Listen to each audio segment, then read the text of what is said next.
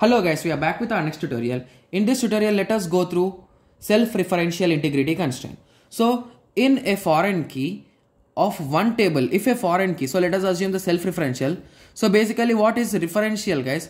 So if one foreign key of, sorry, if one primary key of one table or if foreign key is referring to the primary key is nothing but our referential, right? So self-referential means self.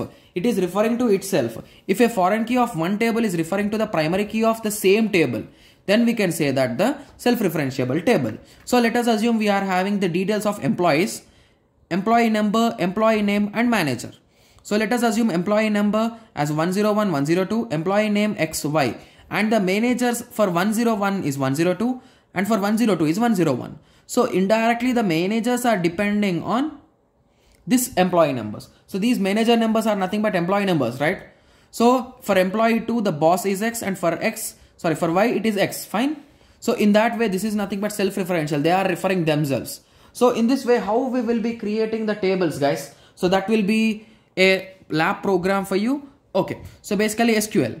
Create a table employee 11 employee number we give primary key. Employee name we are giving varchar to not null. Whereas mgr id please remember this. References employee 11 e number.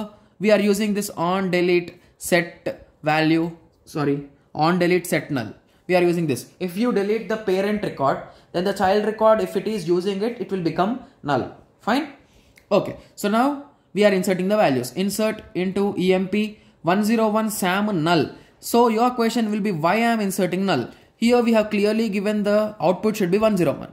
So basically the thing is that initially one the first record when you are inserting 101 there are no previous records. Then how can you create the manager id as 102 if you try to create it gives you an error that it strings violated constraint violated in that way. Fine.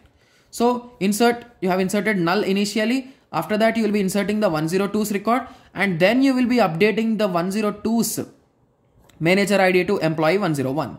So when you select it, you'll be getting our required output. So this will be our required output. So now I hope everyone got a clear idea on self-referential integrity constraint. So in the next tutorial, we'll be going through how we can declare the constraints for column level and table level. So let us meet in the next tutorial. Thank you. Thanks for watching.